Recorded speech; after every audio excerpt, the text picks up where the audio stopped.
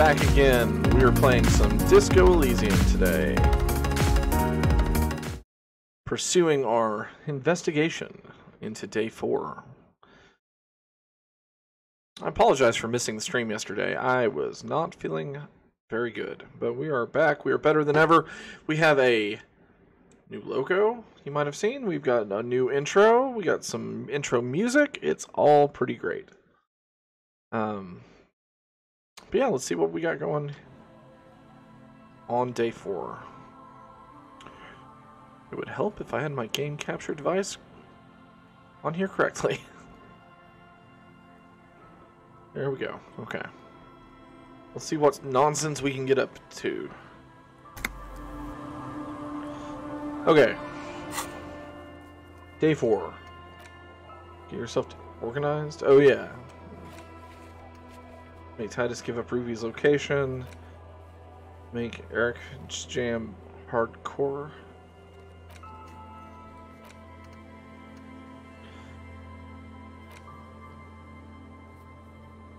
Hmm. Oh, you know what I never did? I never made sure. I never stopped to see if I could um, alter this letter.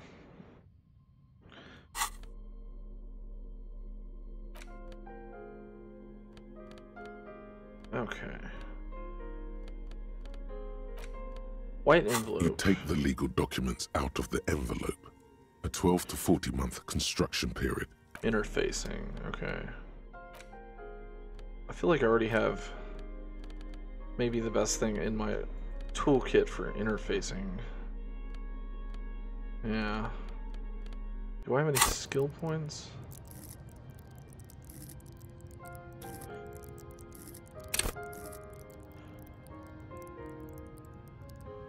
Sure.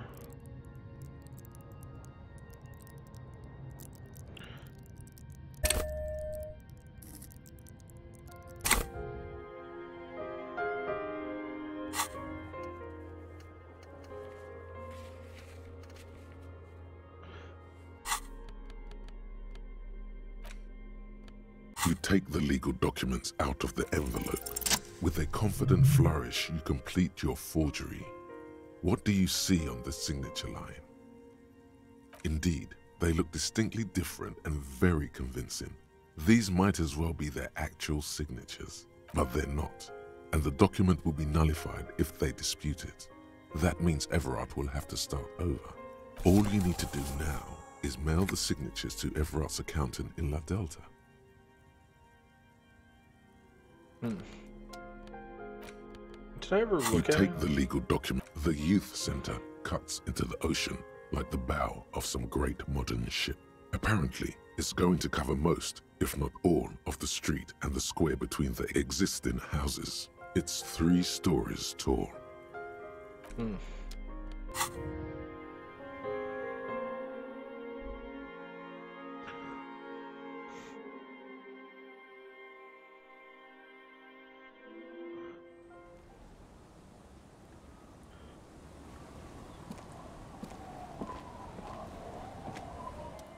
Yes? The lieutenant's posture becomes rigid and uncomfortable as you lean forward and sniff the area just above his shoulder blade. The lieutenant is fastidious as a cat in matters of his personal upkeep. And yet, in the folds of his jacket, you can just perceive the stale and acrid traces of oil rags, transmission fluid, and brake pads. Wait, wait. There's something else there. Something that sets your GABA receptors aflutter. The lieutenant's aftershave, a common drugstore brand. Strong hints of pine needle. But what sort of ideological picture do these smells paint? Tough to say. Do you need something, detective?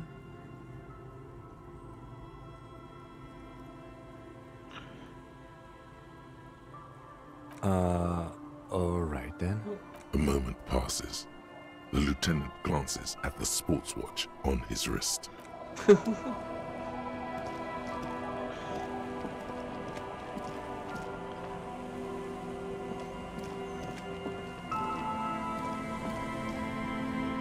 Why? Why does she care about the waves so much?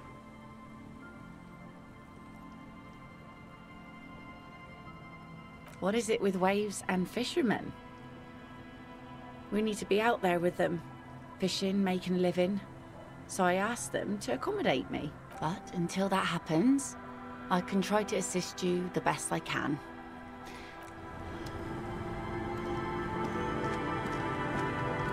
Okay, so first things first, let's go try to find a cryptozoologist. He is somewhere further up the coast. Or so we've been told.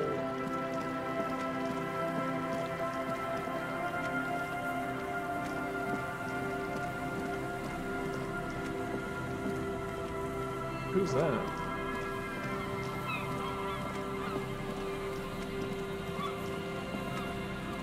And Mikhail noticed the windows, especially with how there are no windows on the south side. This was to deal with. You officers, come to investigate the historic subtext of West Martinez? I'm Khan Hailostam. You must be Kim Kitsuragi, right? I was just telling my son about this building. Not a lot of people realize the historic significance here. Very rich in hypertext. Bear with me for just one second.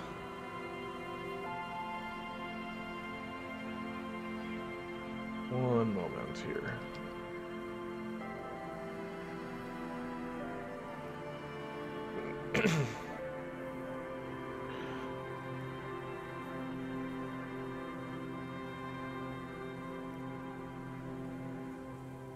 okay. Nice to meet you.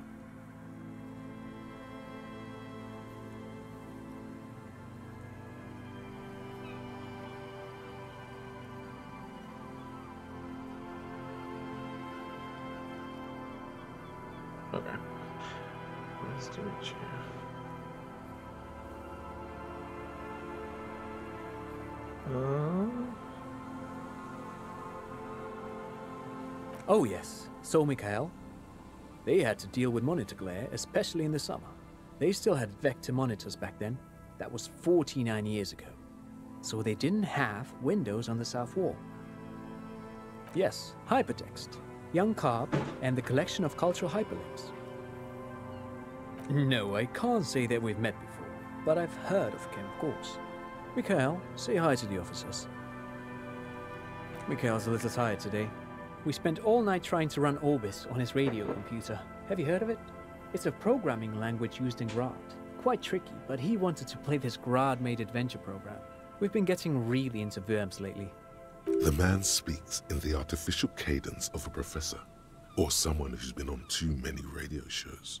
But I assume you're not here for giant worms when there are so many real things to see. Just as I was telling Mikhail before, this is where the Coalition landed in 08. We could be standing on what is the most interesting landmark in Revachol West. This man is your half brother. You feel it. But why? Well, get a load of this guy. He really enjoys his trivia. The Orbis programming language was named after its inventor, Victor Orbis, a cybernetician from Grad. They run Vox in the Occidental countries. Aha! But it's not just any empty old building. What not a lot of people know is this used to be the R&D department of Feld Electrical. And Feld, which now sells ink cartridges mostly, was once a top dog in the turn of the century cybernetics boom.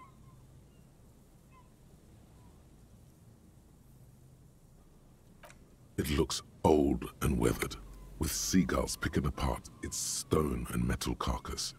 Bushy undergrowth has taken hold of the collapsed rooftop. Some kind of bird has set up a nest on a broken windowsill. That's not surprising. Only a vestigial ink cartridge and ferrotape manufacturer remains. They started out as a midway electronics outfit in Königstein two centuries ago. After an aggressive move to Revachol, Feld became a global player in the emerging personal electronics market of the pre-revolutionary era. Still, Tricentennial was beating them in business machines. But Feld had an ace up their sleeve, or should I say they were developing an ace up their sleeve. I'm mixing my metaphors here. It was here in Martinez, possibly in this very building, that they developed prototypes for a tape computer. Mm-hmm. An elegant folding mechanism of rollers and ferrotape ribbons, portable enough to be a take-it-home solution. Revolutionizing business machines, possibly even bring them to the average consumer. Which is a feat of engineering even today's giants, Rehm, ICN and ZAM, haven't achieved yet. Huh, so he there's no personal something computers. like a combat stance, facing the wind. Indeed. What? The revolution!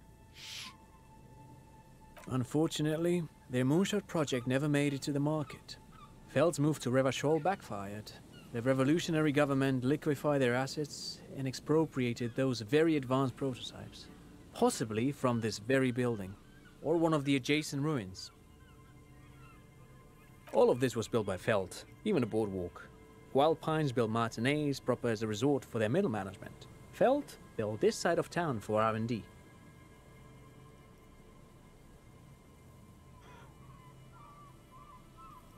Yes, they even built a pleasure wheel, but that got destroyed in the war. A pleasure wheel? Perhaps reminded of a childhood memory. It's clear he would prefer there were a big wheel, lighting up the coast. Yes, to lure in their star engineers. This part of Martinez was nothing but reeds before Feld arrived. They had to make the prospect of living here attractive.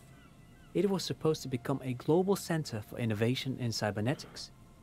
But history had other plans. Oh, I'm afraid it didn't end well for the boys. But this story is a bit too dark for little Mikhail here. Now, if you were to ask about tape computers, He means that the boys got shot by the communists. The boys were bourgeois.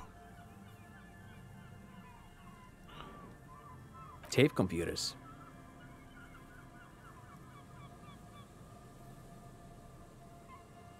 They used them for military communications, but also to write and send out press releases, the most notorious example being Le Decret de Mars. What's the Mars Decree? I mean the radio transmission sent out to news agencies and world governments by the newly created Commune of Revachol on the 7th of March in the year 02. A short-lived legislative foundation for a short-lived utopia. It's a beautiful piece of text, actually. A singer songwriter I know, Charette, called it a love poem to Revachol on her political concept album, Bon dans le Lind. You should read it. Every local library in Revachol stocks a copy of the decree. I tried to get Mikhail to memorize it. Tried to. Someone was much too interested in worms to be paying any attention. The kid takes a peek at the green and silver worm on the cover of the book, already forgetting about this part of the discussion. Actually, no one knows. No one even knows what a computer made entirely of tape would look like. But word has it, they were very elegant, exquisite, alien looking turn of the century hardware. Buckle up. Ten years ago, I did a little freelancing, I guess you could say. I was a special consultant for an exhibition at the Wumpty Dumpty Dum Center in Vredefort, Oranje. It raised the same questions, and we had lengthy discussions with Wompty Paul Dumpty Ockham, Dum who was head curator at the time. This was before the twins Keith and Guy Jews joined the team, trying to. Wait, did he just say Wumpty Dumpty Dum Center? He did it. He said Wumpty Dumpty Dum Center, like it's the most natural thing in the world. What the hell is a Wumpty Dumpty Dum Center? And who the hell are Keith and Guy Yost?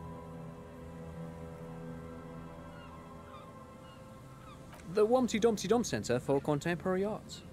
The exhibition itself drew on Lagerman's notion of memory, and so there were some parallels. That's why the head curator, Paul Ockerman, chose to. in fact, I'm not. The Wumpty Dumpty Dum Center is a place you can visit if you're ever in Vredefort and are ever in the market for an exhibition space slash contemporary art research center. but perhaps I should return to the tape computers. As I was saying, the device itself was very elegant, fragile even. One could write directly on the tape using a special chemical solution. The machine would then analyze the handwriting, perform operations, and project output onto a white screen. It was a beautiful, delicate thing. Made of black film and folding tape structures. Very, very cool. Though I understand the socio-economic causes of the revolution, it pains me to imagine the revolutionary setting fire to this precious device. But so they did. The Feld playback experiment vanished into the fires of 07. Who knows?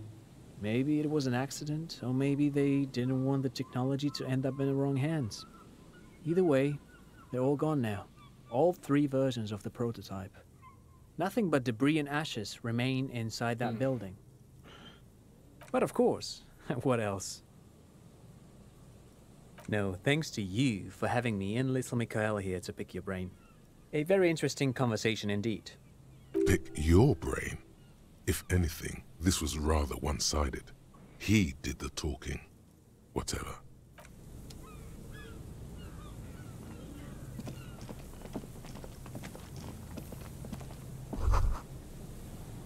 The remaining windows rattle from a strong gust of wind. They're covered in a thick layer of grime. They must have been like this for 40 years. Dripping water falls from a high place. All you can see is the shadow of a collapsing staircase. No. I won't even try. You know, I had a partner once. They called him Eyes, because he had to show me things. It's that bad.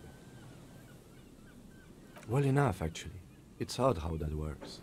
I'm no sharpshooter, but I pass my shooting courses 7 out of 10. His hands lead the way when it comes to that. And his shoulders. It's reflex.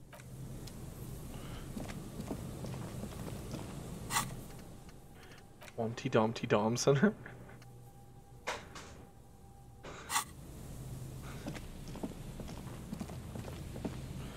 You see, a once bright mural towering above you. The signage has peeled off over the years, but you can still make out Feld Electrical R&D. A slogan used to intertwine with the loops a long time ago. Now, only a shadow of peeled letters remains. It says, Tomorrow is just a whisper away. Looks like tomorrow never came.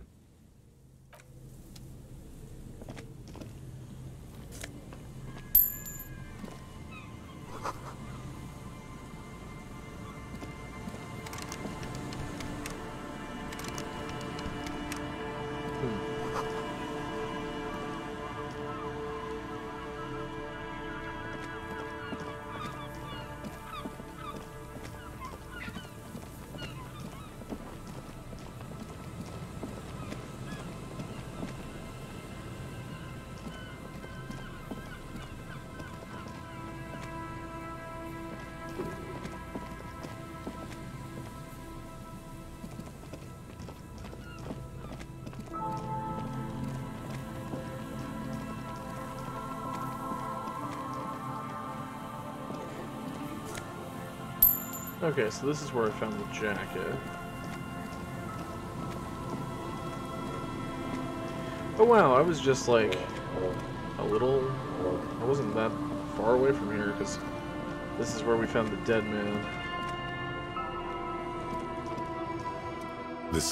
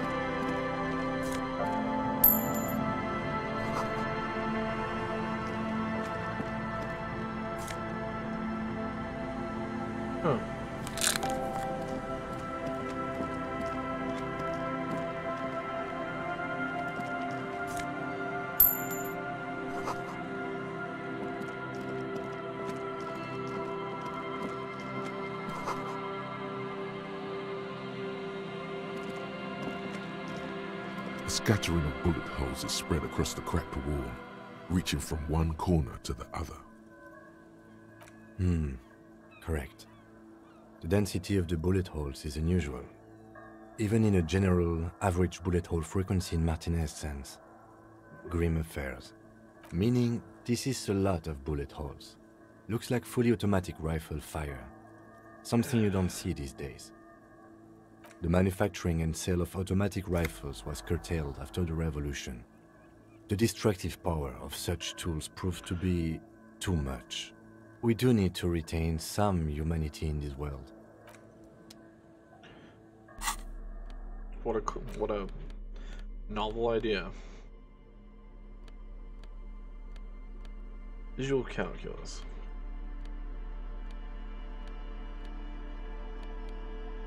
Okay.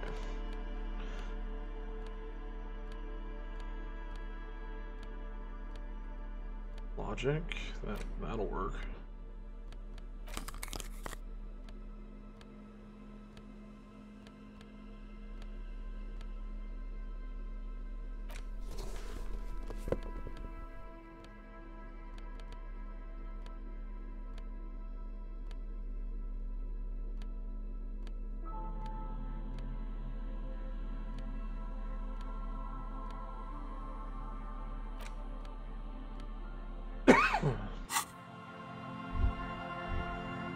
Scattering of bullet holes is spread across the cracked wall, unable to piece together the big picture just now. There's a hole in their hypothesis. The scattering of bullet holes looks like one giant. Hmm.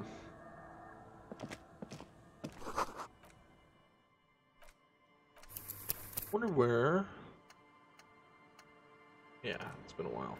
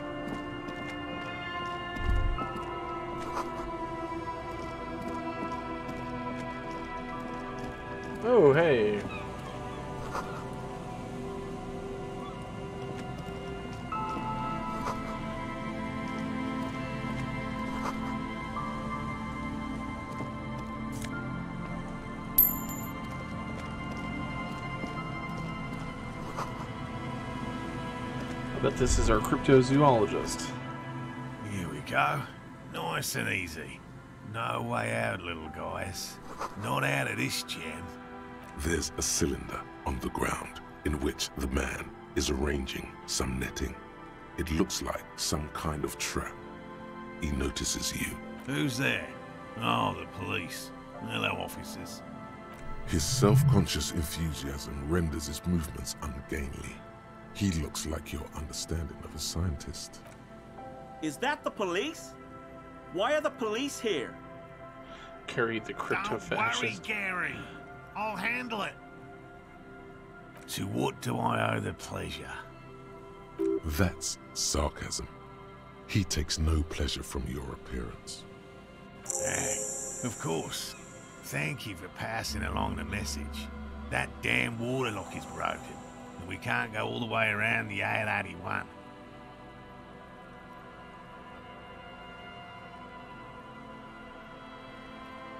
Oh, good. We should really be getting back. Gary could use a hot shower and a warm bed. Did he say we can go back now? Yes, Gary. We can go soon. If you see Lena, tell her I won't be long. Sir, your wife is waiting for you. I just have to do one more round. See if the Phasmid has taken the bait. Then we go in. His hands are large and weather-worn, but also used to delicate, precise work. For all his passion, this man is diligent and patient. You could learn things from him. Which is why we've been knee-deep in the reeds laying traps for him. Good question. Being a phasmid of the order Phantasmodea, a ghost insect, it disguises itself as plant matter. In this case, the reeds. Awful lot of reeds around, aren't there? And I suspect it may have also developed other specialised techniques to protect itself from predators or scientists in our present case.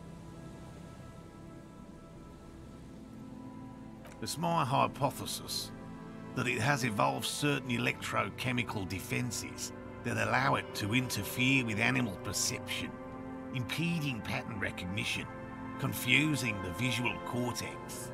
But I cannot describe how these defences work, much less how they evolve, without studying a live specimen. I'm expecting it to be quite giant. One known species of phasmid, called the Megaphasmodea is about the size of a grown man's forearm. So, uh, Typical rookie assumption. Insects are much more sophisticated creatures than those unversed in zoology give them credit for. Even simply catching a glimpse of the Insulindian phasmid would be the apex of my, of any, cryptozoologist's career. But to study it and its defences, find out how it stayed hidden so long. Would be glory itself. Very little, I'm sorry to say. No one's ever captured a specimen, so all our information is based on first and third-hand accounts. Not yet. That's what makes it a cryptid. Just out of curiosity, if there's no proof of its existence, how do you know it's real? I know it's real. It's clear that his obsession with the phasmid is driven by something more than the pure pursuit of scientific advancement. By which I mean, I've heard enough first-hand accounts to believe quite firmly that the Insulindian phasmid is more than mere superstition. There was a credible sighting here recently. A pair of teenagers described a creature that matched the Insulindian phasmid to an uncanny degree, despite not knowing what it was themselves. It's the first credible sighting in several decades. Admittedly, it's an unusual location for this species, but with all the sewage runoff upstream, it probably doesn't matter much anymore. I have to resist the thought. Such an extraordinary creature is doubtlessly highly resilient. After all, it's generally thought to be capable of parthenogenesis. He means asexual reproduction. The females of the species don't need to mate to produce viable eggs. This makes it easier for a species with a small population to survive. Yes, the Insulindian phasmid is a very clever insect. That's why it's so damn difficult to catch. But as a scientist, I'll try my best to remain dispassionate. Well, they may not look impressive, but Lena designed them quite cleverly, so I'm sure they'll do the trick. Yes. Simple. Attracted by the locusts, the phasmid crawls down the funnel and, having eaten its fill, can get back out. At least, that's the intention. The net isn't a perfect solution, but we didn't want to use anything that might damage the specimen's delicate exoskeleton. Locusts. Nearly all known phasmids are herbivores, of course.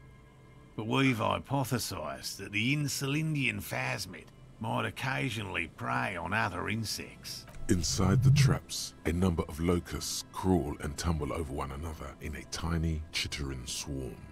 A meat-eating stick insect? Does it pretend to be the reeds as part of its ambush behavior? This seems unlikely. Thank you for your opinion. We have also included plant material in the traps to satiate your skepticism.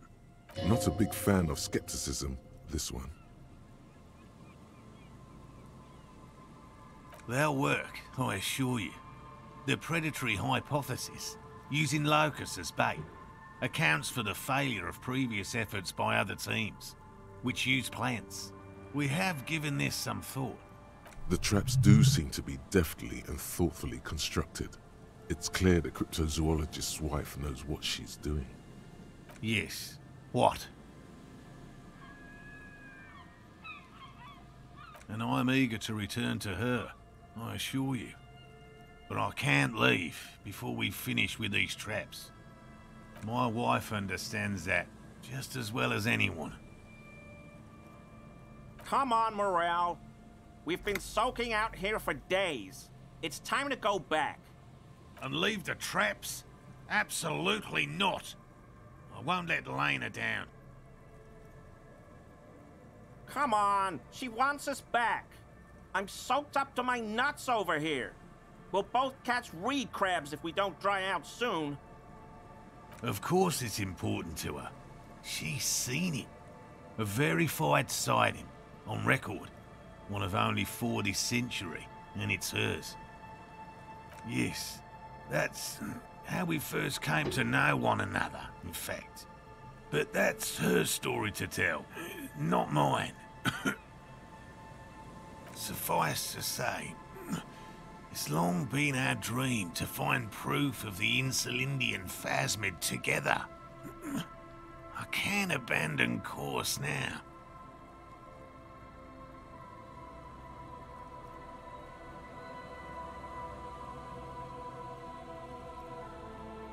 Good.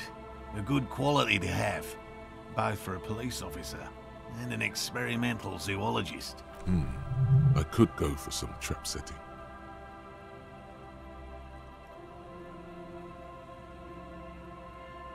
I didn't expect you to take such an interest in our work here, officer.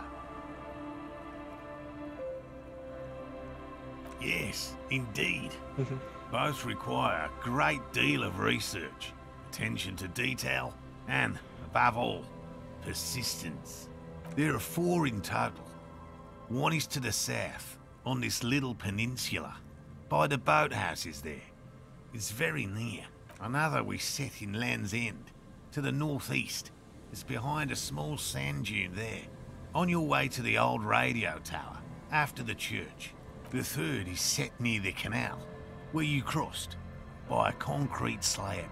A big thicket of reeds going up the slope, and among them, you should check at least one of those before returning to this one, since I just said it. This one's more of a technicality, but still, better safe and stupid than sorry. That seemed like a lot. Do we really have time for this extracurricular venture? Is it? If you think it's important, you have been right before. Bring it to me at once. Just make sure the trap is closed tight. That's highly unlikely, officer. But in the event you do, I'll spray you with a pheromone mixture I developed. It's made of musk and research chemicals. The pheromone should attract the insect to you, or at least prevent it from bolting at the sight of you. It's quite potent. Will last you about a week. I hope you're not buying this. He dispenses it without letting you touch the canister, so it would be precious like holy water. It is precious. A single dose cost me 50 real to develop. Not that I expect you to understand self-financing one's own research. Right. Which means you two can pack up and go back to the whirling. Finally, someone's talking sense. Thank you for your help. Gary and I will start breaking down camp. If you have any more questions, now's the time to ask. We'll be gone once you get to it. If it's more cryptid-related business you want to discuss, you'll have time for that later too. I've just always liked animals and puzzles. He seems reluctant to talk about himself, but he'll open up, if you prod a little.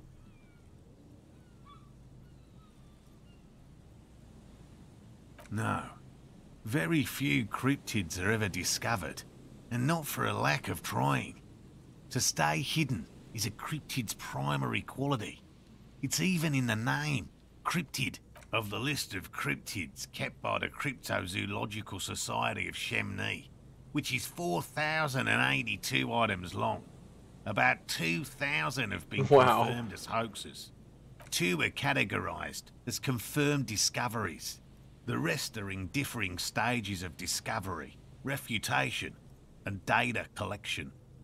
Yes, the Chateau Quan forest pygmy, who turned out to be an extinct species of primate, and a cave salamander from Hugo Grad, who is, honestly, quite unremarkable. It's in a zoo somewhere. We cryptozoologists are brutally honest with ourselves. More so even than the public. With cryptids, most cryptids are hoaxes or they are never found. That does not mean we should stop searching.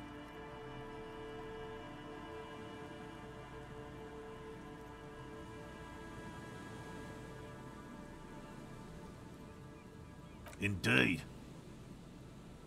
If our expedition is successful, every paper in the world will report on it. From Revachol to Dushantu. It will be a zoological miracle. He has clearly done his math on this. There is no surprising him or swaying his opinion. It's not child's play. Just because I have to traipse through the mud every so often. Real. I know you think one is a respectable profession, while the other is superstition. Everyone does. Indeed, my methods do not differ from other scientists. I simply draw upon a wider variety of evidence. And I have more hope that something truly surprising might happen. No, as I said, I have yet to catch a cryptid, although I have come close. Close enough to keep trying. Hmm, hmm, interesting. Something for later, this close call. Everything from forgotten regional lore to newspaper accounts, like the one that brought us here, to look for the Phasmid. I keep a very open mind. He's interested in things that people believe that scientists don't. Most establishment scientists only care about reputation and remuneration, not real research, and certainly not the truth. They're a cowardly lot, and both the field and basement archives can be dangerous places. Yes? All right. What cryptids precisely? I usually discuss these things with specialists, so I don't know what We would have to discuss. He wants to say, but decides against it, since you've offered to help. A willow person. It's a long story. One non-specialist would find rather dull. Willow people? Not at all. They're not people, really. Some argue they aren't really animals, as they seem to have evolved directly from trees. Hmm. They're very, very thin, almost flat in fact, and can camouflage themselves easily, wrapping themselves around trees and blending in with the tree bark. In that way, they're not too dissimilar from the phasmid we're looking for here.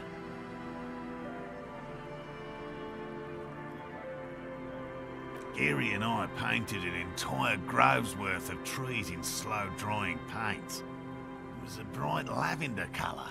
Was hoping one of the willow people would get paint on it and not be able to camouflage itself. After waiting in hiding for hours, I saw a figure slip from one of the trees, a lavender shadow dashing through the grove. I chased it with a net. Not very elegant. You can't be elegant in the field. And, well, it was faster than me. A lavender shadow. I know you think we were snacking on funny mushrooms. It's easier to mock someone than to admit that the world might be more interesting than you've imagined. Furthermore, I'm not saying it was a confirmed sighting.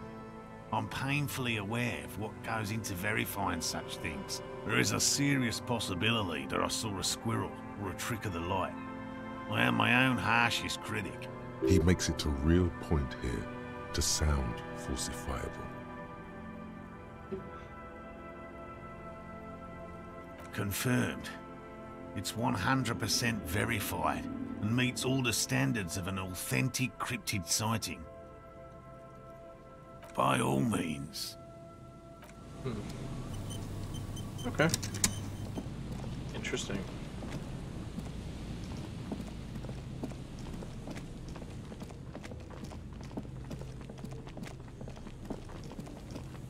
Oh yeah. Um I wanted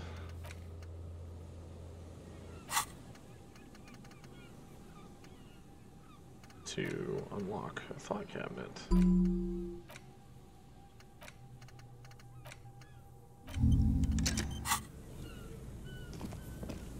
How long is that going to take?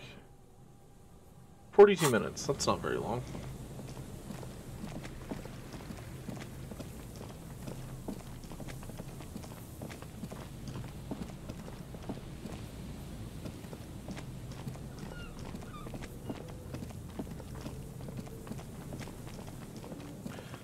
We're kind of light on leads today. We only have a few things that we've got to do.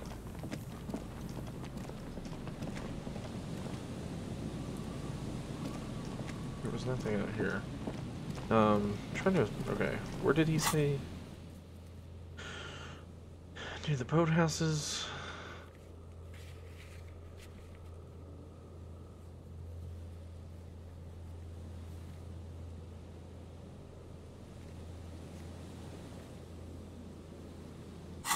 Near the trap. Okay.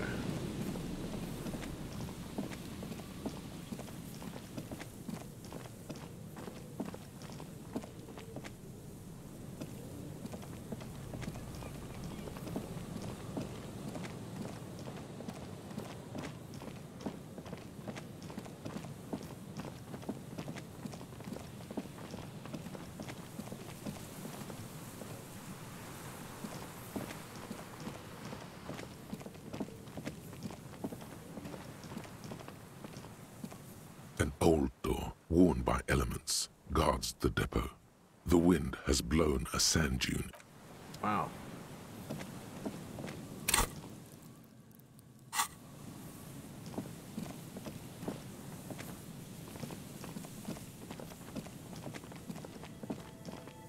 I bet this is it.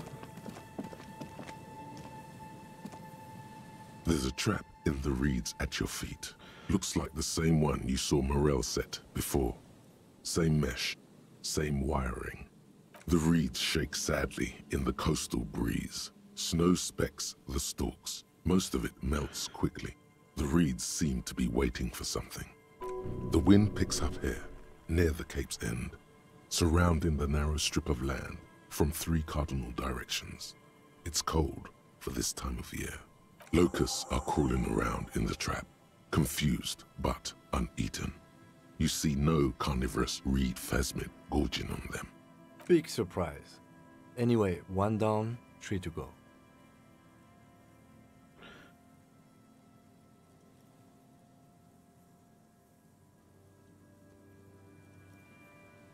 I meant no offense. Just.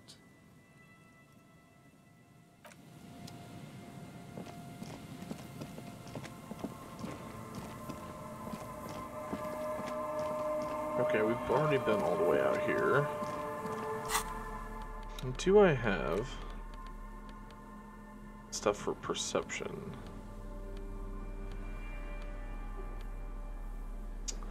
It's minus one to perception. And eye coordination.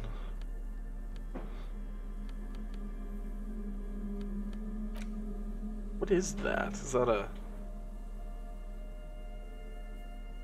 It's a hat. Funny. Okay. Got nothing that helps with perception. Let's continue. At least we know what we're looking for now.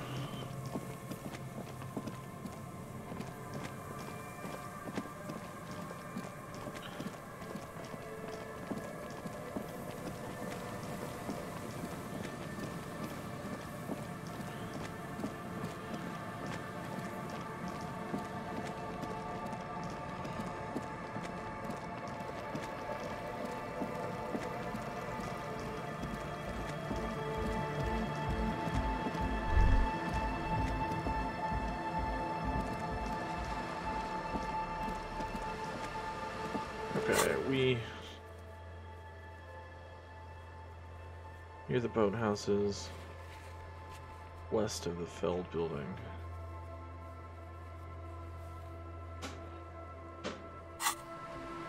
West of the Feld.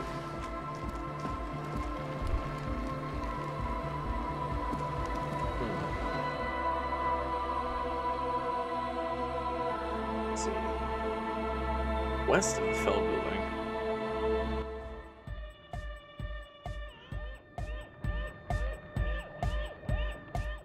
So you had a talk with Andre, and now you want to discuss things with Noid. Good. It's good you talked to Andre first. Gave me time to get a reading on your sign.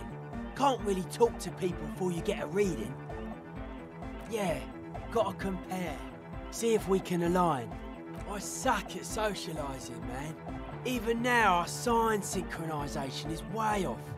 I'll see what I can do. A sticker? You mean the yellow one? Can you describe it to me? Interesting.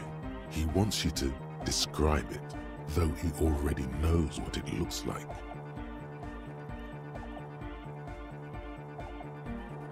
Good, good. What did you want to know?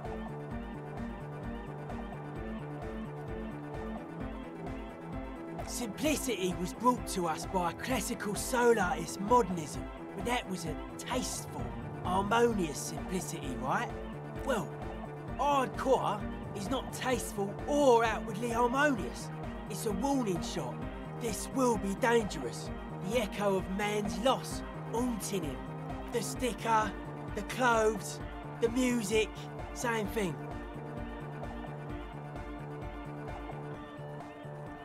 It is. Yes, you're the 23rd person to get it right. And I've asked 23 people. Looks like it's a dead guy smiling to the entire human race.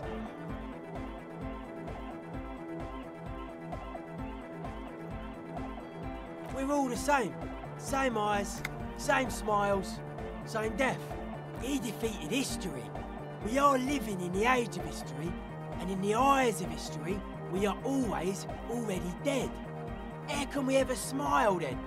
Because history is a lie, and so are its deaths. The present moment and life are the hardcore. The hardcore expels death. Or maybe he's not dead. Maybe he's just really ecstatic about the beats. Or drugged out of his mind, come to think of it.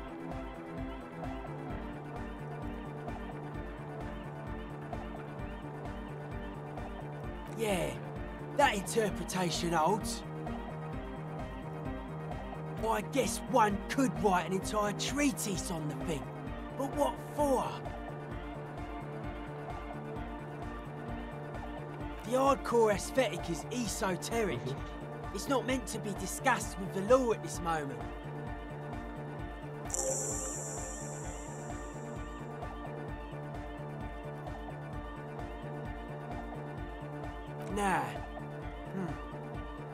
Strongly out of sync. Stage gamma disalignment. You heard me. Hi again. So, uh, how are things going? Goodbye, officer. Maybe it was him? The large-headed youth Good morning, comrade. Yeah! Tape! Yeah! Spins the tape until the space This might be escape. fucked up. Yeah! Okay. Communism for Hang on. Before I do this, The large Good morning, com- tape! Yeah! Alright! No! No, no! This is gonna make people scared! Keep it positive! Keep the love in the house! Communism forever! Hi again. So, uh, how things going? And? What happened? Oh, man. The crab man, you mean? Who is he? What did you think?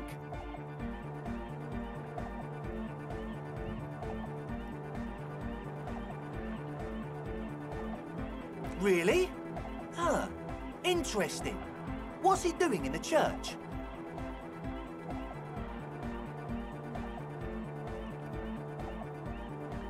No matter. Is he gonna be a problem? Yeah, Noid is right.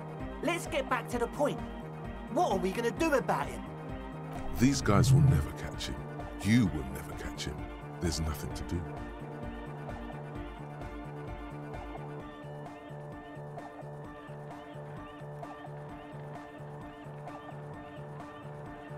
I don't know, man. Doesn't it feel like a major hindrance to you? A spooky guy climbing around when all the guests are trying to have nice, friendly hyper time? I guess it's not a massive problem, now that I think of it. Everyone is welcome to dance till the morning light. Yeah! Maybe. Uh, I guess we'll figure something out. Okay, but what about the other spooker? The one in Grandma's clothes? Did you see her? A programmer? That's odd. What was she like? Did you ask her about the nightclub? Come on, man. Who will you trust? The spooky programmer or us? We just want to make the world a better place. Feel the love! Get down and feel it! A half-hearted sell of something which does not seem worth buying. You'll get there, believe me. When we've got our gear set up, things will be flowing and pumping. Anyway, now that it's settled, how did she seem? I mean, disposition-wise, about the dance club idea. Yeah, Oda 9. Rocking it or dropping it? Come on, man. Hang on. Feel the love! A half-hearted sell-off. You'll get there, believe. Anyway, Okay. now that it's settled, how did she... What a pity! That's my favourite thing in the world! And she doesn't like it at all! A shame. What can we do now? Do you see a way out of this jam and into a laser-lit future of dance and unity? Unity! Dance! And you can't just evict her?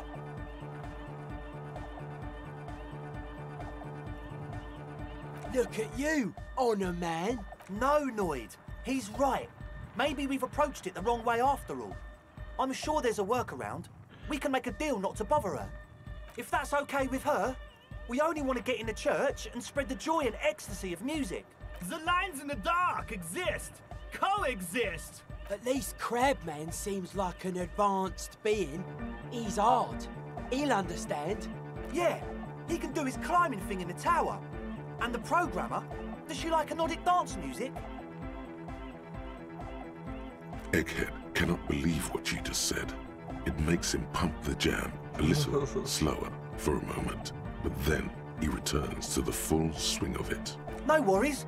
We'll figure it out. If coexisting fails, you can always muscle her out, right? If it's all okay with you, what do you think?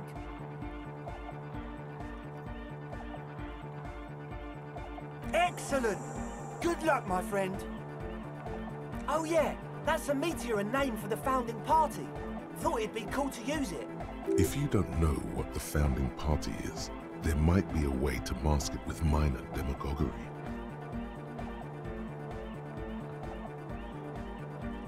Come to think of it, I've never really looked them up, you know? I can't give you a precise definition, but they're a very powerful religious organisation. And they have roots in ancient mass society. And they're the custodians of the Pericanassian Church. Plus, they anoint the innocents. They, like, made the innocentic system, no?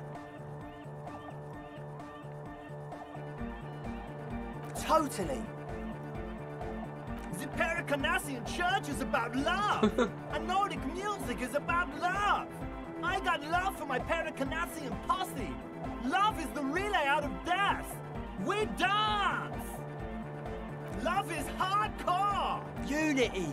Unity! Make some noise for my Insulindian posse.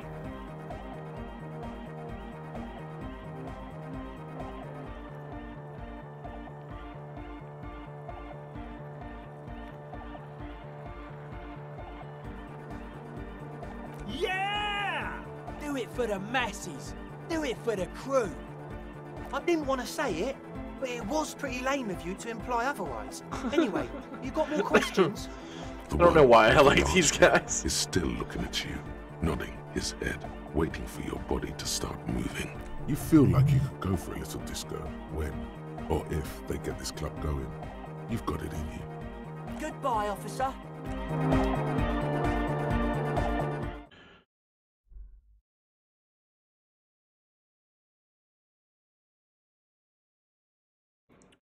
Okay, let's go check the rest of the traps. I'm kind of like not done with this area, but we've been in this area for a long time. I'd like to get back to town.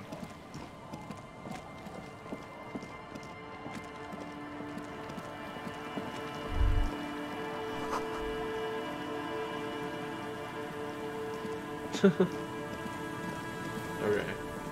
So it said boathouse west of this building, right?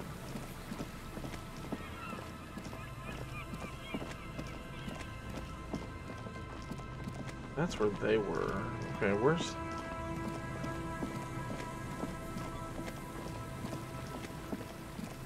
They must mean down here.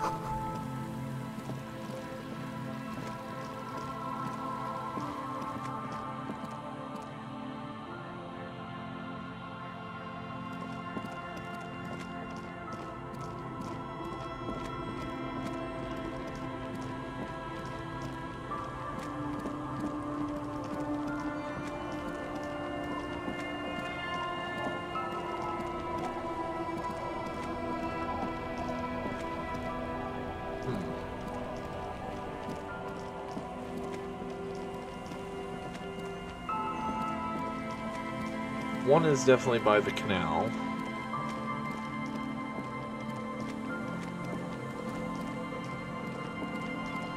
Yeah.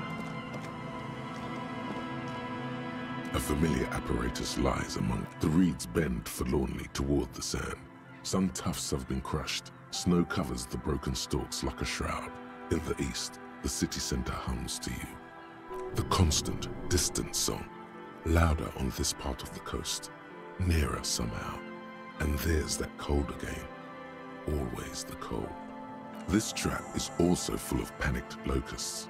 No sign of any cryptozoological beast inside. Another empty trap.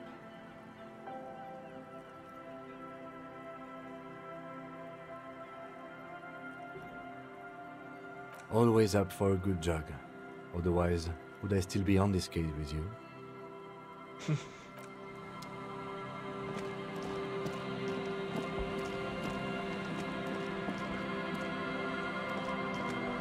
Okay.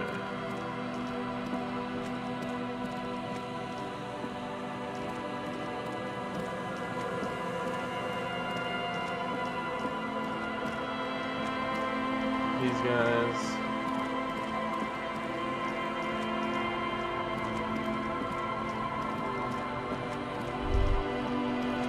A drop in temperature, an easy flow there. An empty street. Before you, a thoroughfare unjammed with lorries.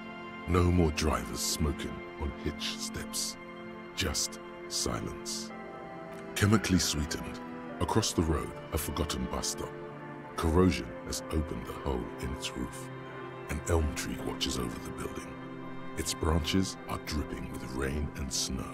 The road is smooth and motley, craters filled with a black asphalt. The asphalt, first laid, is grey already. A row of tenements are under construction in the distance. A tub warm with water, white with soap. A man bathes while radio waves transmit the lottery numbers. 4, 18, 21, 4, 1. A modern washing machine rattles a drawer full of silverware. Number 312D. Young girls used to come here, hmm. huddled up, hoping for more warmth than their thin coats give them. The bus took them to school. It has not run for eight years. There were not enough girls to sustain its cost. Craters pocked the surface. Children played in them until heavy trucks full of black pitch rolled in. The landowners have filled the craters with money. It is a vital artery of the flow of trade. There's one bump on the road. A dead dog lies flat about 200 paces away, right at the turn. Tragedy comes from the wheels of a fast RCM vehicle, hurrying to work. The cold washes over you. The sound of the sea has grown distant. The wind moves the aerosol. A detective stands behind the boom barrier. A breeze moves a curl of his hair. Interesting. Hmm.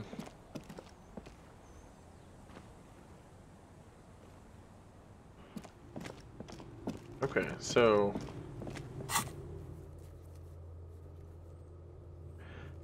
check the trap near boathouses west of the Feld building.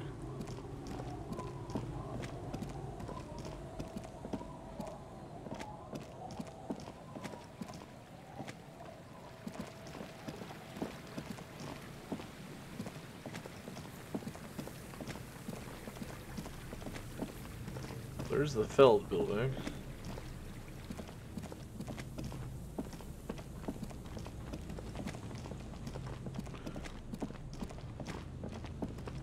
Ah, there we are. This trap's not too hard to spot, once you know what to look for. Keeping it hidden has not been a priority for the cryptozoologist. Behind you, the ruins of a residential building loom over the reeds. They whisper amongst themselves, confidently. Snowflakes cling to their shivering stems. Nothing but locusts in this trap as well. Definitely no cryptozoological monstrosity. Empty as all of them. One more of these and we're done.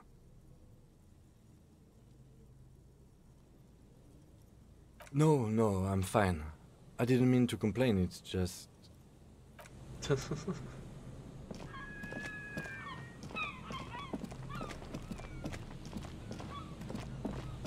okay. This is the last of the traps. The one Morell just set. Checking it over, he said, is just a technicality. The reeds by the abandoned campsite sway and tremble, while the snow falls all around. It's good the cryptozoologists left. This isn't a very cozy place to stay night after night. The later it gets, the colder. Remnants of the camp can still be seen in the sand. The fire that's gone out. You feel strange, somehow. The trap feels light and silent as you pick it up. Something is different here. No locust. No phasmid either, but still. Well, the bait worked on something. This doesn't mean it was a reed monster, though. Unless you see one in there, I just see an empty trap. The netting is a little untidy, messier than the others. Like someone or something picked the trap up and shook it before dropping it back down on the ground.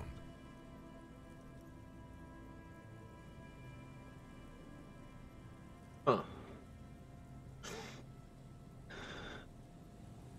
Perhaps our cryptozoologists have competition in the form of an actual entomologist, or someone else is sabotaging them. I could present more theories, but then I would be taking this on as a case, which I'm not.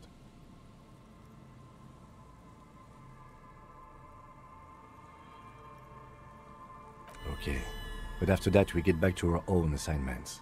There is no justification for this detour at this point of our investigation. We have a lot of work to do back in town.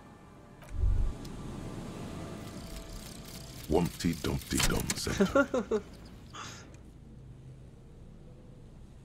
You're at home, stupid cop. Not with the art crowd. You hate them. Everyone hates them. Even they hate themselves. It's nauseating. An industry built on sprezzatura and sparkling wine. And, let's be honest, tax evasion schemes. The Wumpty Dumpty Dum Center is the heart of this unholy symbiosis of aesthetics and tax optimization. And now that you've internalized it, you can have a piece too. Oh, hey. So, encyclopedia passives give me um, a bunch of bunch of um, XP. That's pretty cool.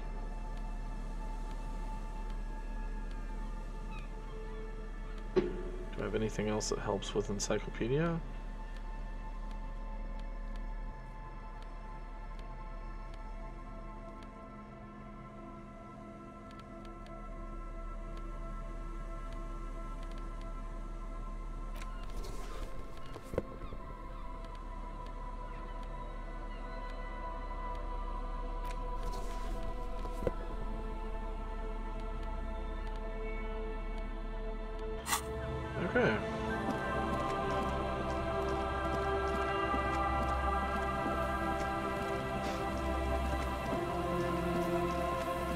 Let's go get the, um, let's go back to town. Let's, I inspected the traps. Get yourself organized.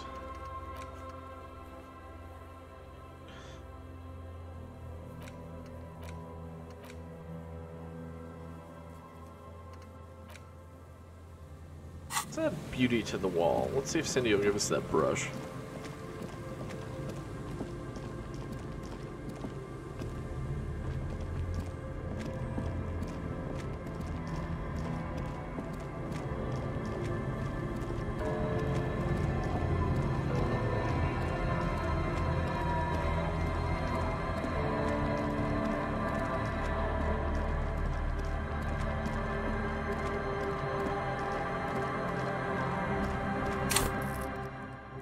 Encyclopedia is pretty good, so.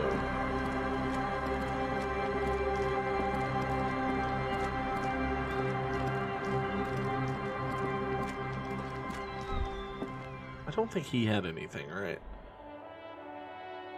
I want to say that the Eggman told me to come in here uh, because he might have records, but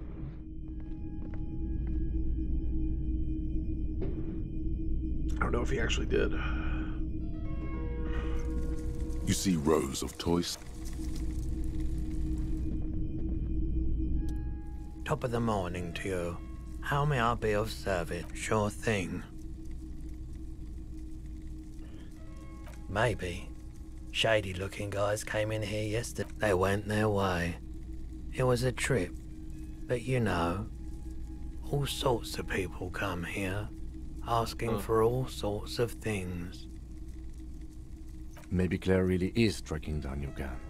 Hmm. People as oleaginous as Evrart seem like they're lying, even when they're really being truthful. Sure, man. All the old... b- Typical Martinaise street 700 real. A bargain, I dare say. There's also the matter of rewiring. the most important transformation is the light's placement among ordinary indoor fixtures, which has adjusted its morphological field.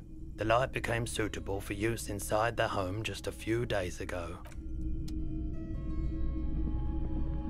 That's hilarious.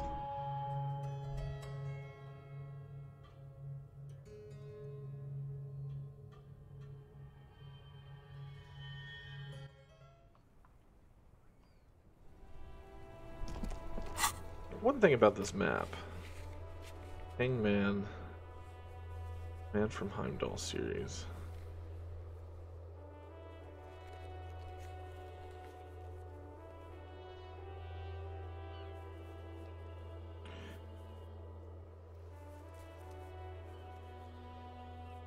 Oh, mirror?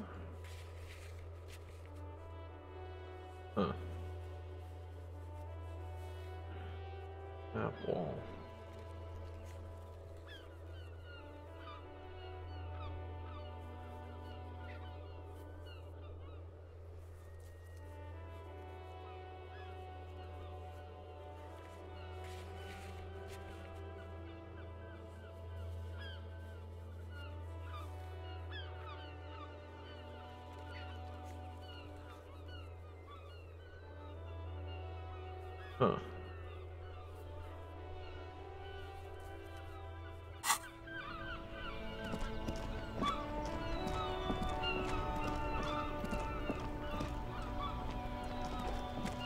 That's one brutal motor carriage.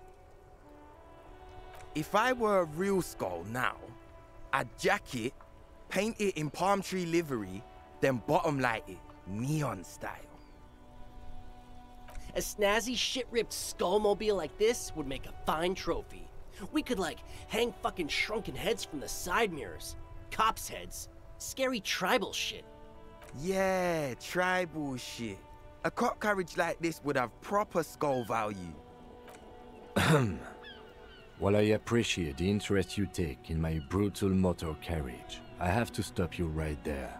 The RCM takes threats directed at its property seriously. I, um, it's just theoretical work, Copper. No basis in reality. Man, if we were certified skulls right now... I can tell you who we're not, cop. We're not snitches, flow bears, or skulls. Which is not to say that the skulls are bitches and... On the contrary. The part of this presentation you want to take home with you, cop man, is we're not part of the skulls. Yet. Okay then, let's indulge in some intellectual exchange. These young men seem eager to share their beliefs. You don't know? What kind of cop are you? It's not a question. Don't get into it.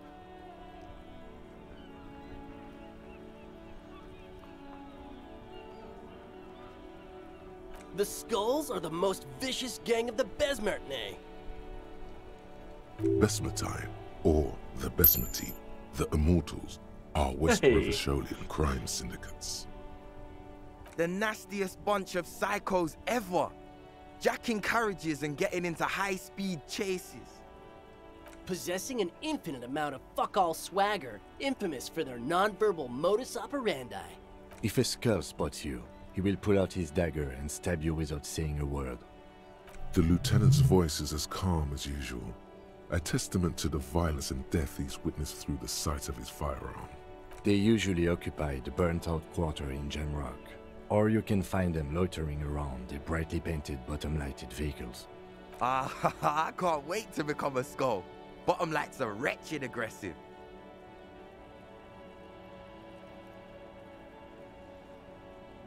Oh yeah, Cindy's a right proper skull. Yeah, a true artist of the future. Just like Arno van Eyck. Uh, by the way, if you see Cindy, give her our regards. For all their nihilistic posturing, these young men are not lacking in youthful idealism. The lieutenant on your left is unusually lenient toward them. Hmm.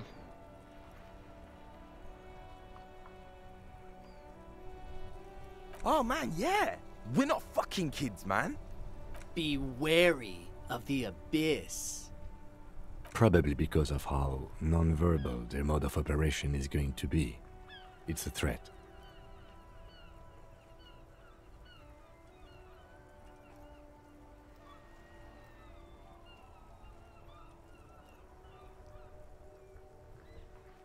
But I don't.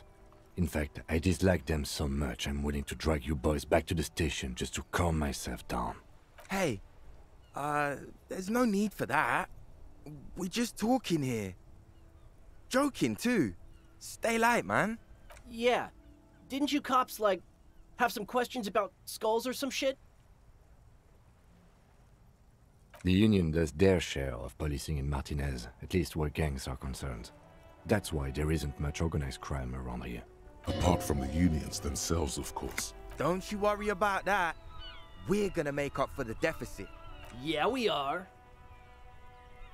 We're not franchise skulls. Well, not yet. Once we get our name out there, we'll have a chance to join them. Because we can be just as psycho and vicious. You'll see. But in a non-threatening and definitely legal way. We'll fuck the system from the inside later. Just be cool now. The damage will be tenfold. Right on, fuck. So what's happening now? Mm-hmm. Mm-hmm. What about them?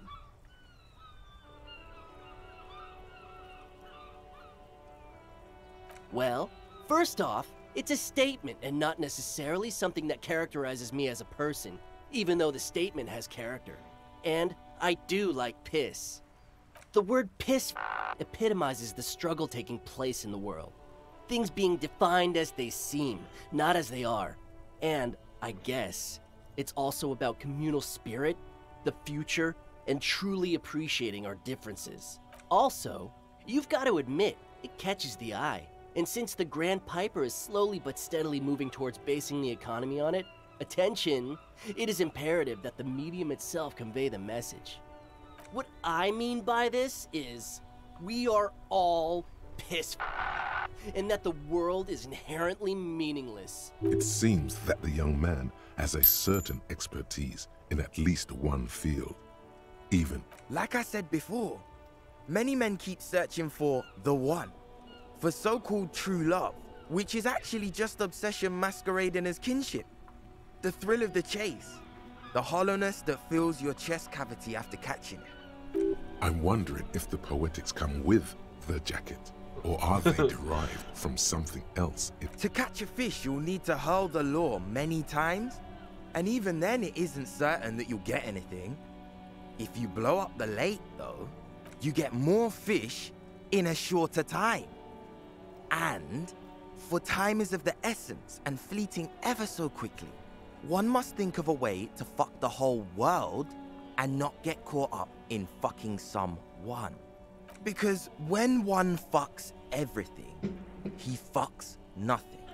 And that, to me, feels glorious. Sticking your dick into the void.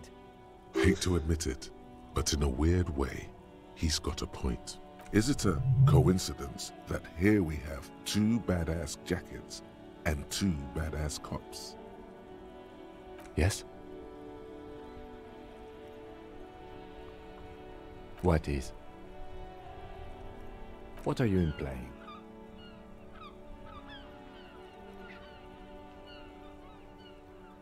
I'm not sure I understand you, Detective.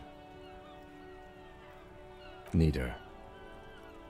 Fine, if only to end this discussion. Theoretically, if I were a juvenile delinquent, if I were to already be down that path, I think peace is the stronger of the two statements. Seems about right, especially considering your heroic exit attempts.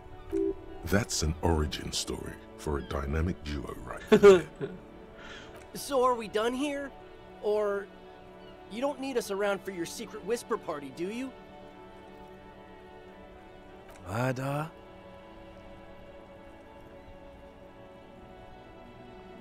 Yeah, sure. We'll gladly tell you everything we know about it. it was a man.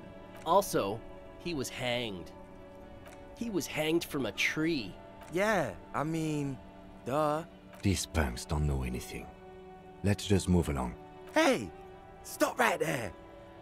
How does one know anything?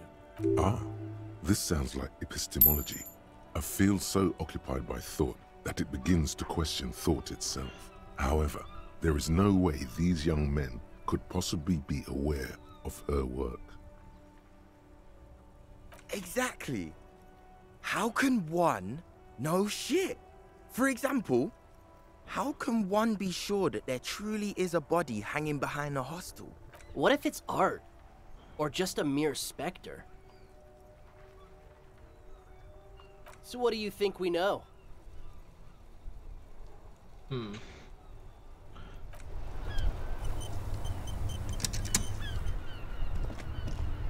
Yes?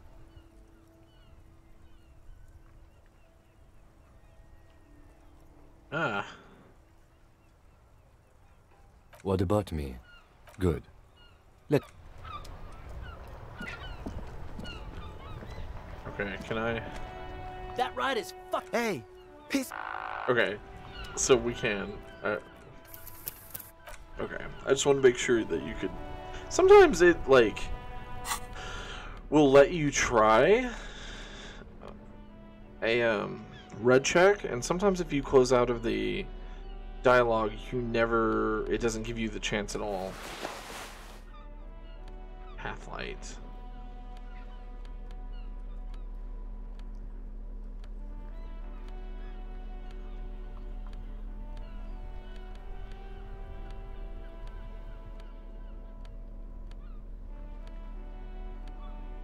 I don't think I have.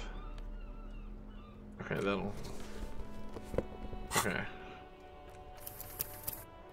I don't normally save scum when we do this, but I'm may. That ride is fuck. I may for this.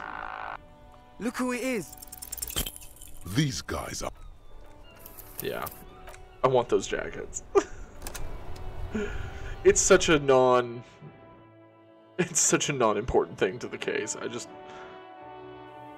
I want it just because it would make him mad. That ride is. Hey, peace... No, no, no. Don't ask anything. Be subtle and scary. The boys dream about being skulls. Use that.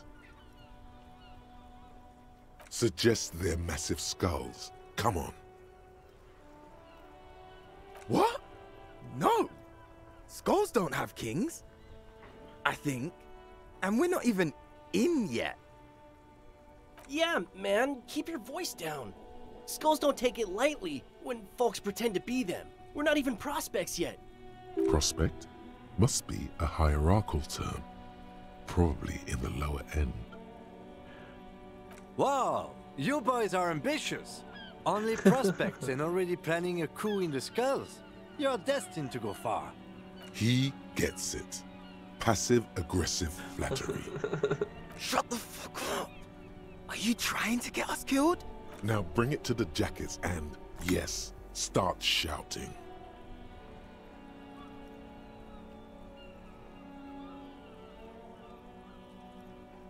Please be quiet. What? What do you want? Th- the jackets?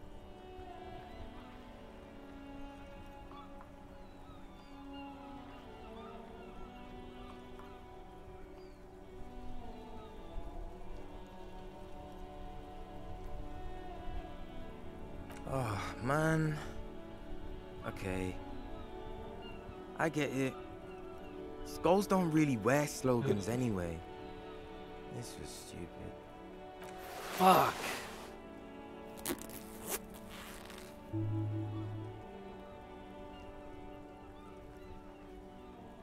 The lieutenant watches the boys take their jackets off with mild amusement.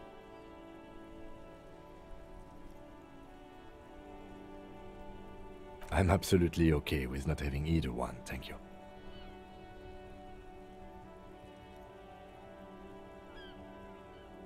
This case doesn't require us to go undercover or raise hell. In fact, I don't think the jackets will be useful at all. I just wanted them to not have them anymore. Cold hearted cop. The need will not arise. The jackets are meant to complete each other. If a man was standing alone on a street corner with piss written on his back, it'd just be an individual that has taken a liking to urine. And fuck the world, all on its own, is, frankly, generic. I don't know, Eric. It's cold out. yeah, let's get out of here. The cops fucked us.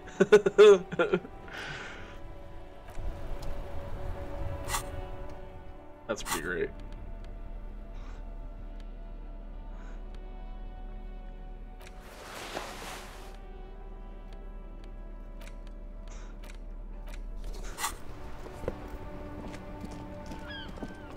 Well, that was fun. Fun little interaction there. Totally meaningless to everything else going on. Okay. Mailbox. The dented yellow mailbox greets you with its graffito and bullet holes in the front. Yes, for sending mail. You drop the white envelope in the darkness. It lands with a soft thud on what sounds like a couple of letters. About a week's worth of mail as collected in there. They'll empty this very soon. Probably did the right thing. You can't trust that slug Evrart. You know he's going to play you somehow. All right, let's go back to Evrart. If we don't mention anything to him, he won't know before it's too late. Mm-hmm.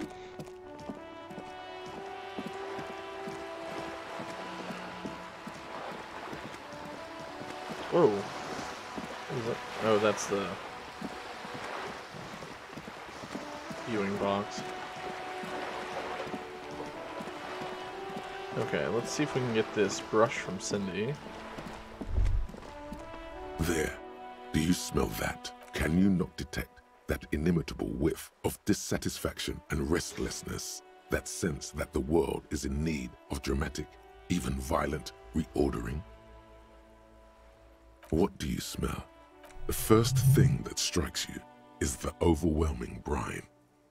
You imagine yourself underwater, a hundred-legged anthropod scuttling along the murky silt at the bottom of the sea.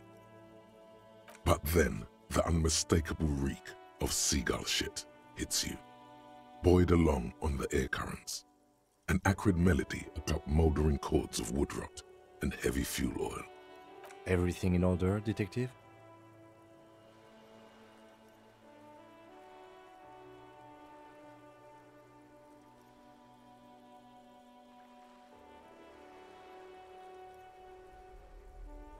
Personal errand.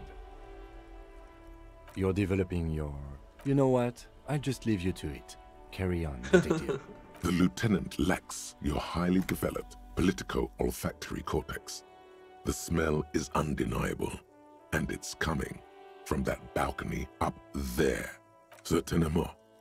A precocious communist youth, a symbol of a kinder, more hopeful future. Now's your chance to establish contact with your revolutionary brothers and sisters. That's who I was heading for anyway.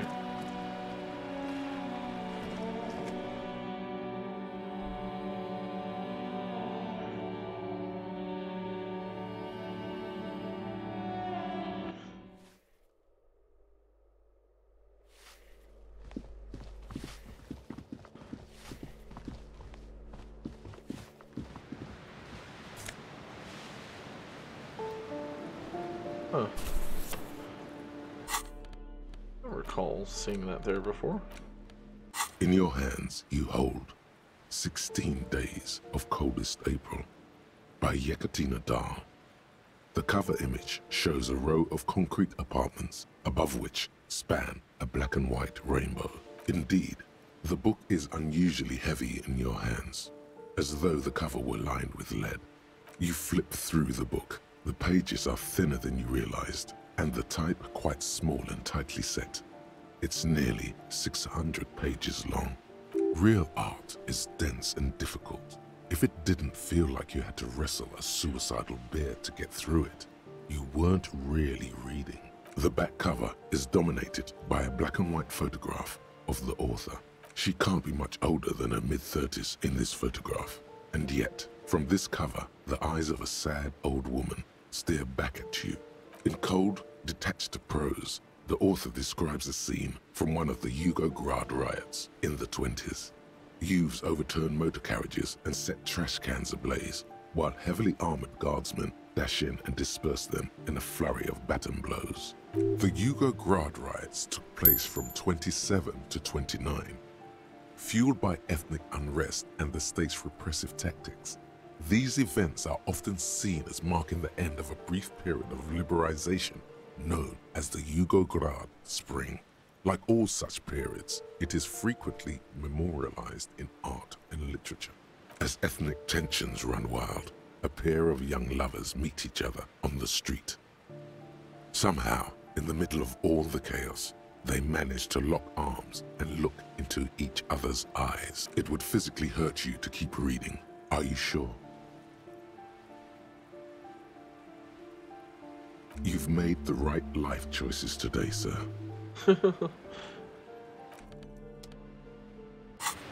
but I did level up rather quickly.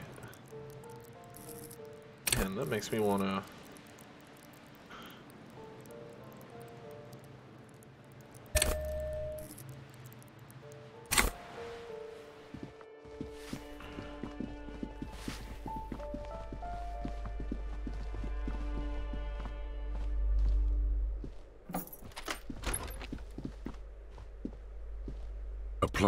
Honestly, he does kind of look like you after all. The White Star, the photos on the wall. I think we have broken into the apartment of a young communard. How fitting. Hold on a second. Is this why you broke in here? To find out whether you're Kras Mazov? Sure you are. Well, you both do seem to share an affinity for sideburns, but it seems like old Kras here didn't drink nearly as much as you. You do, but that's not the point. The point is, he doesn't look like you.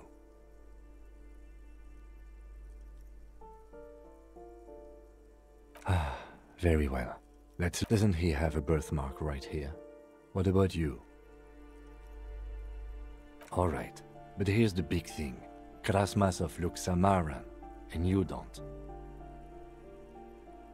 Okay, you win. Be Kras Mazov then. I don't care. Why are you so hell-bent on proving that you're Kras Mazov anyway?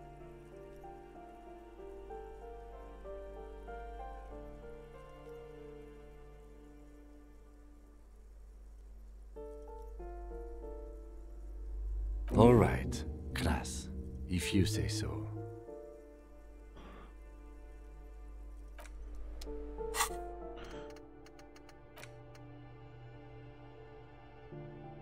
Hmm.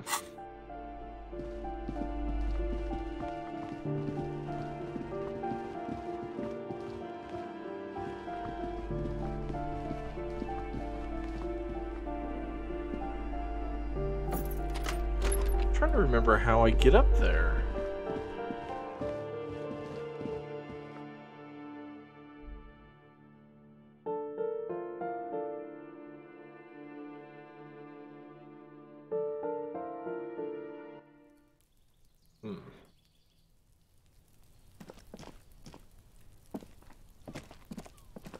That's that dude's apartment.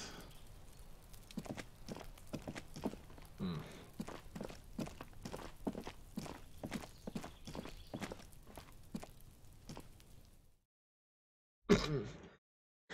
I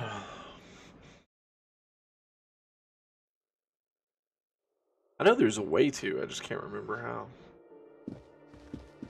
There's the exit.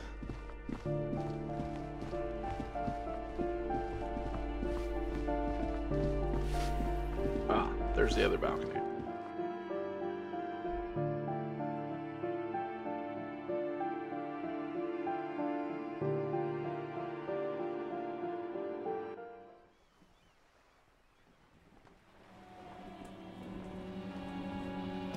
Okay.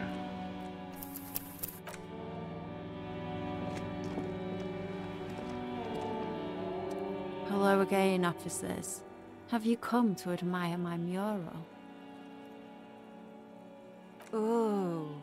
Not only have you found my address, you've discovered my biggest secret. I'm a coal miner. She does have eyes that seem to be smeared with coal.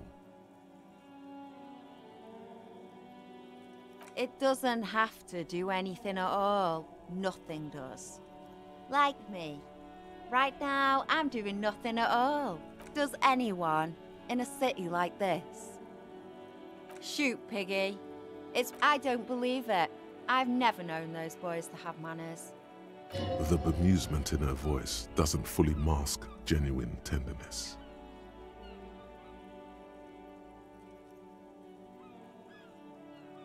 They'll never be skulls, but. but their hearts are in the right place.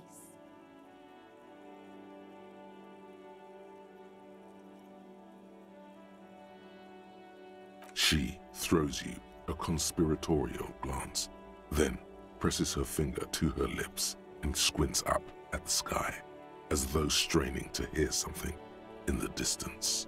Have you noticed the quiet? Every so often, you might hear a gunshot pierce the air somewhere in Jamrock. But in Martinaise, no gunshots, no sirens. The people are languishing in boredom and complacency. This place is a sepulchre. We'll paint it red. We bring the raucous. You bring the sirens. What for?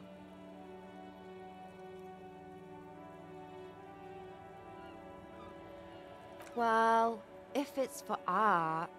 But what kind of art are we talking about?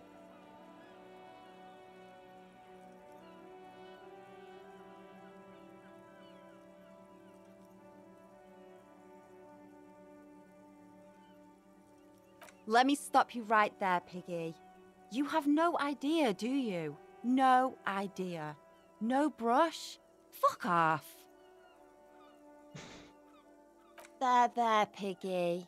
I guess art just isn't really you. Because you suck in life and in everything.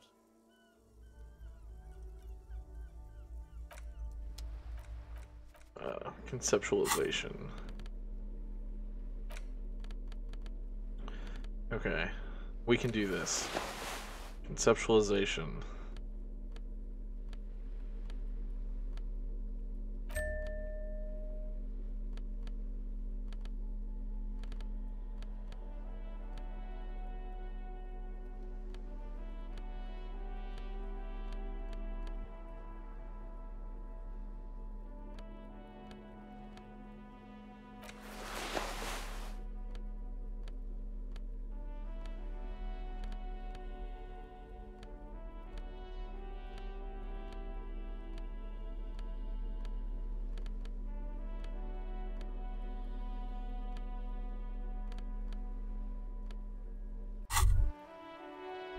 Does art inspire you so much? Excellent question. Art is a diverse range of visual, literary, auditory, and performative creativity. It's an expression of imagination and technical skill. Additionally, it's history, criticism, and pure enjoyment. In short, art is the highest form of human communication, representation, narrative, emotion, and agency intertwine. Have you looked in the mirror lately?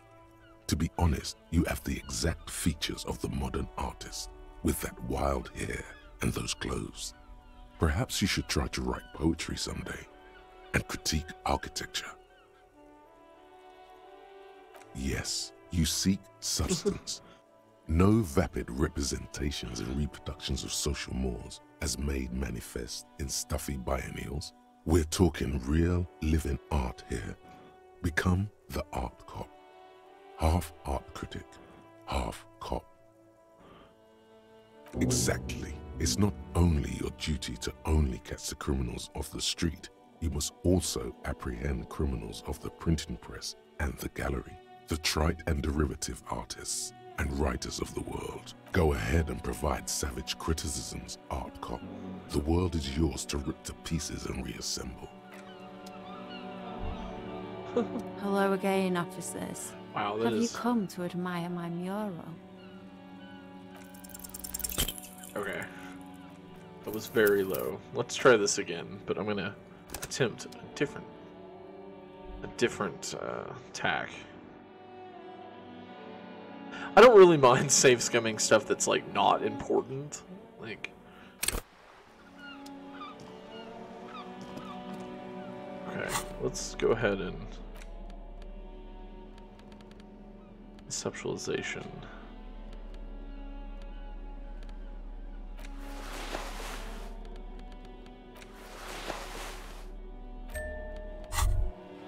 Why does art? Okay, Excellent question. this. In short, have you looked in the mirror lately? Yes, you see exactly. Go ahead and prepare.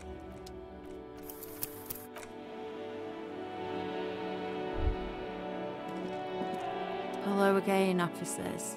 Have you come to admire? Oh. She does. Does anyone? It doesn't have. The inspiration will come. Shoot, Piggy. It's. I don't believe it. I've never known that. There'll never be skulls, but, but their hearts are in the right place. She throws. Have you noticed that this place is a sepulchre? What for?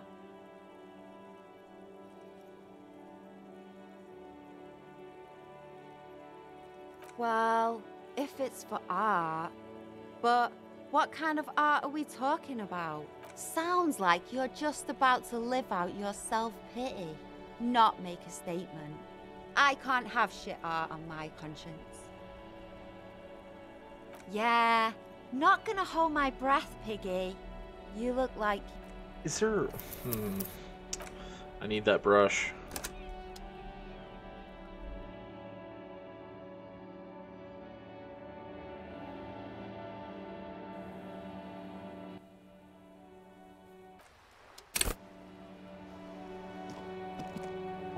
Hello again, officer. Ooh. She, Yes. Does anyone? It doesn't have the inspiration. Shoot, Piggy. It's what I don't believe. They'll never be skull. She, throat. Have you noticed this place is a. s- What for? What do you think I'm trying to paint here? A mural for a better tomorrow? Why do you really need it? Boring. You're not using my lovely brush to spread boredom. I ain't helping no pigs fool honest, upstanding citizens. I'm not an antisocial element. Well, if it's for art. But what kind of art are we talking about? Then you have time to find your own fucking brush. You're about to cry internally, aren't you, Piggy? And what do you know about politics?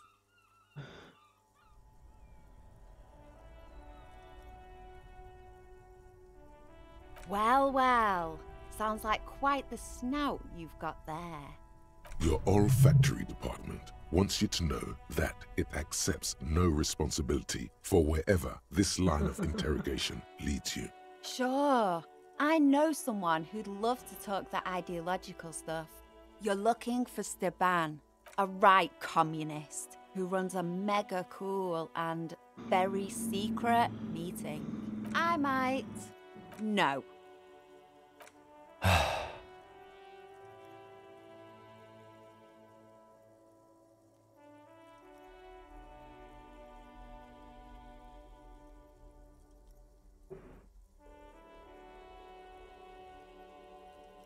A wicked grin extends across her face. Oink for me, piggy. Just once. Wrong! This is exactly how I treat my little brother. There, that wasn't so bad, was it? It's not the worst indignity you've suffered the last several days, but it is up there. The lieutenant, needless to say, is not impressed. Sounds like you're really serious about meeting Steban. It's touching. Sort of. Steban's group meets only at night, in an old room in these apartments here. It just so happens you're in luck. Their weekly meeting is tonight. Poke your snout around sometime after 10 pm, and you might just find them. Just that he's a real communist. Not like the play acting you've been doing. The rest you'll have to see for yourself.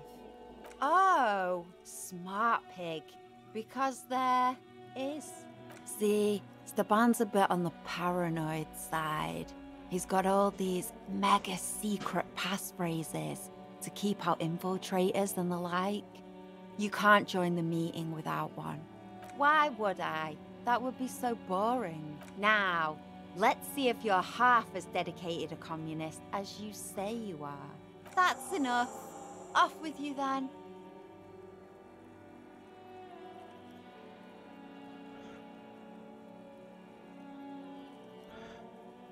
Hmm.